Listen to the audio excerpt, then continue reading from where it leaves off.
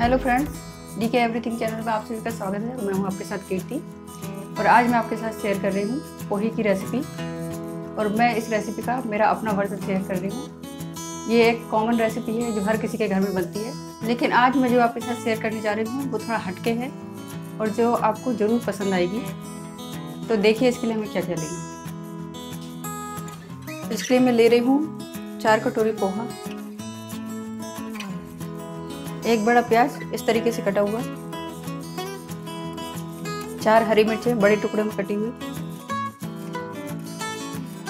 और हरा धनिया। एक बड़ा टमाटर बड़े टुकड़े में कटा हुआ।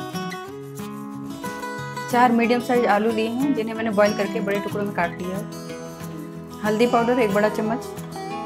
रेड चिली पाउडर आधा छोटी चम्मच। नमक स्वाद अनुसार। जीरा लेना है एक चम्मच। चलिए, सबसे पहले पोहे को वॉश कर लेते हैं। इसमें हम पानी ज़्यादा डालेंगे। इतना पानी डालकर इसको हमें ड्रेन कर लेंगे पानी को। ये देखिए, पोहे को वॉश करके पानी इसका ड्रेन कर दिया मैंने। इस तरीके से धोने से ये अच्छा सॉफ्ट बनता है पोहा। कढ़ाई मैंने एक बड़ा चम्मच तेल लिया है। तेल गर्म हो गया है। अब इसमें हम डालेंगे जीरा।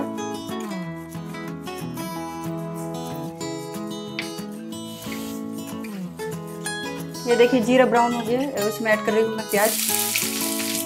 हरी मिर्च भी ऐड कर देंगे। आप इसमें करी लीफ भी डाल सकते हैं। इसे हमें लाइट ब्राउन करना है, प्याज को। ये देखिए प्याज लाइट ब्राउन हो गई है अब इसमें मैं ऐड कर रही हूँ नमक। साथ ही इसमें ऐड कर देंगे एक चम्मच शुगर।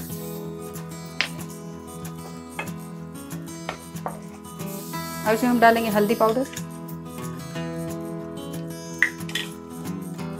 Red chilli powder. अब इसमें ऐड कर देंगे हम टमाटर।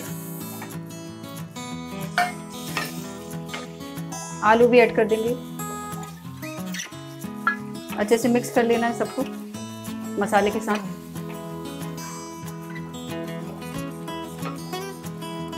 अब टमाटर को थोड़ा सॉफ्ट होने देना है और आलू को भी अच्छे से पकने देना है, भुनने देना है इसमें। ये देखिए, टमाटर सॉफ्ट हो गए हैं। मसाला भी अच्छे से भुन गया है, आलू भी अच्छे से भुन गए हैं इसमें। अब इसमें ऐड कर देंगे हम पोहा।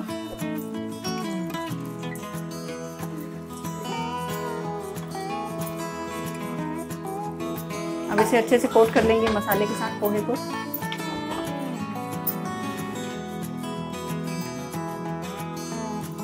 तो लीजिए फ्रेंड्स, आलू टमाटर पोहा तैयार है। और इसको हरा धनिया डालकर सर्व करें। इसमें आप नमकीन, प्याज और नींबू का रस भी डाल सकते हैं ऊपर से सर्व करते समय। ये बहुत ही मज़ेदार लगता है। इसे आप घर पर ज़रूर ट्राई करें। आपको ज़रूर पसंद आएगी ये रेसिपी। तो फ्रेंड्स, यदि आपको मेरी रेसिपी पसंद आती है तो लाइक करें, शेयर करें।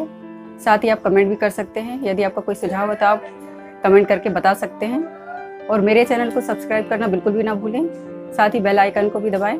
और यदि आपने मेरे पहले के वीडियो नहीं देखे हैं तो आई बटन क्लिक करके वहाँ आप मेरे वीडियो देख सकते हैं। तो फ्रेंड्स अगली रेसिपी तक के लिए good bye and take care